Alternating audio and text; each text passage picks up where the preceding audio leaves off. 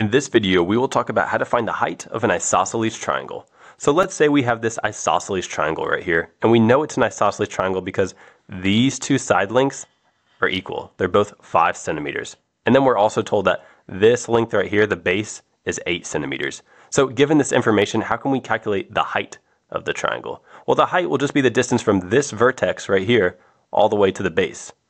So we're trying to find the length of this line right here. What we'll notice is that when we draw this line, we're able to form a right angle right here with the base. And this line also perfectly splits the base in half.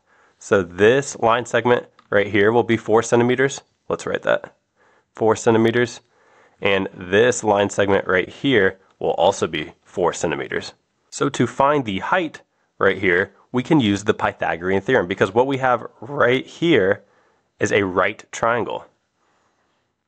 And when we have a right triangle, we can use the Pythagorean theorem to find the missing side. So the side that we're missing is this side right here. So remember, the Pythagorean theorem says a squared plus b squared must be equal to c squared, where a and b are the shorter side lengths and c is the hypotenuse.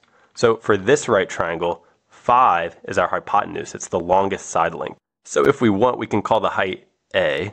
So we would say a squared plus b squared, so b is 4, is equal to c squared, where we said c is 5, the hypotenuse, so 5 squared.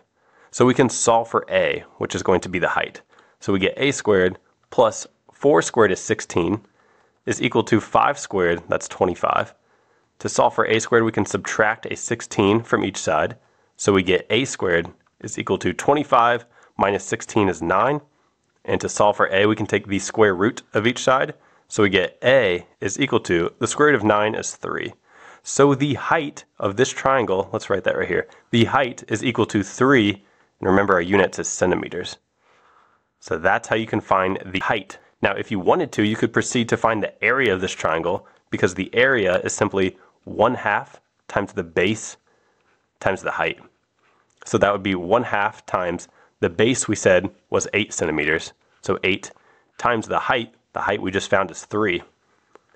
So we get 8 times 3, that's 24. 24, half of 24 is 12. So 12 centimeters, and we would say squared since we're talking about area.